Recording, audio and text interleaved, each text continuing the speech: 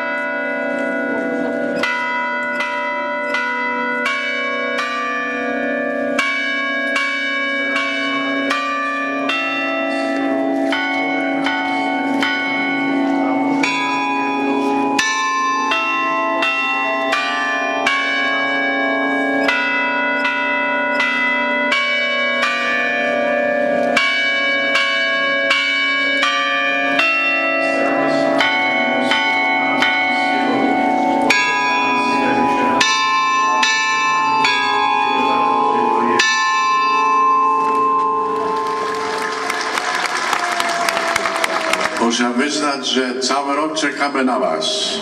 Celý rok na nás čakáme.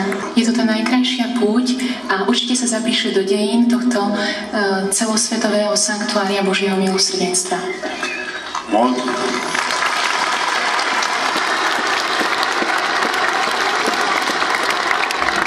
Sme aj geograficky spojení, pretože Tatry nás spájajú. Nedelia, ale spájajú. Staliśmy się jedną rodziną, braćmi i siostrami. Vďaka púti vlastne tejto aj úcte k Božiemu milosrdenstvu sme sa stali jednou rodinou, teda bratmi a sestrami. Stretli sa tu traja svätí. Svetý Cyril vo svojich relikviách, blahoslavený Jan Pavel II a svätá sestra Faustína. Z tymi świętymi tworzymy święte kopcowanie. S týmito svetými stvoríme spoločenstvo svetých. Tak ako Jan Pavel II bol priateľom Slovákov, tak verím, že ako aj je a bude naďalej e, priateľom Poliakov kardinál Tomko. E, Rozprávali mi, že vlastne e, išiel do hor a odtiaľ z polskej hranice pozeral na Slovensko. Myślę, że wtedy się modlił o wolność, suwerenność, niezależność Słowacji. Myslím, že vtedy sa modlil za slobodu, nezávislosť a suverenitu Slovenska.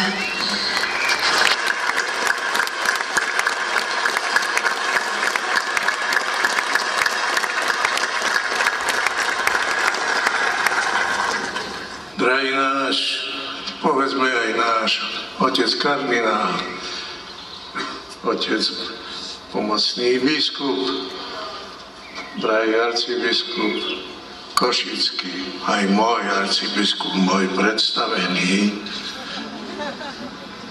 Takú slávnosť sme veru dávno nezažili, iba ak v Ríme pri tom blahorečení Jána Pavla II., za ktoré sme prišli aj poďakovať sem na miesto, ktoré jemu ležalo na srdci. Ja sa pamätám, keď si to prijal priamo, keď prehlásil túto svetiňu za svetiňu Božieho milosrdenstva, tu nás bronie. Teraz vám dáme spolu s otcom biskupom, pomocným biskupom Krakovským, tu na požehnanie pozostatkami práve z tej krvi blahoslavného Jána Pavla II., ako aj s pozostatkami Faustíny Kovalskej.